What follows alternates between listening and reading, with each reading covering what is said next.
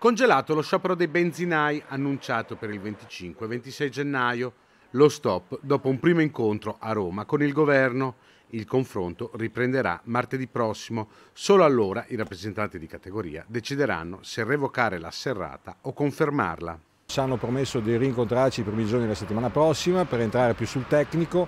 Apprezziamo e hanno apprezzato il fatto che abbiamo dato le nostre spiegazioni, quello che diciamo da una settimana che il prezzo non lo gestiamo noi e quindi non siamo noi che andiamo a incidere sul prezzo finale.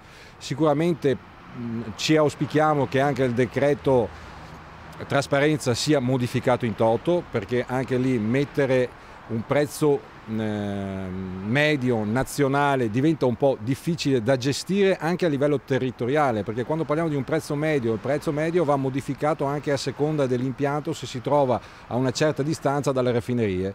Sicuramente se si trova a 300 km i prezzi di trasporto aumentano e quindi il listino automaticamente le compagnie petrolifere sono costrette ad aumentarlo lievemente. Quindi la soluzione potrebbe essere di mettere un prezzo sicuramente eh, medio nazionale sul portale del Mise in modo che tutti possano andare a controllarlo, metterlo sull'impianto crea solo confusione e sicuramente distrae il cliente da effettivamente quello che va a pagare.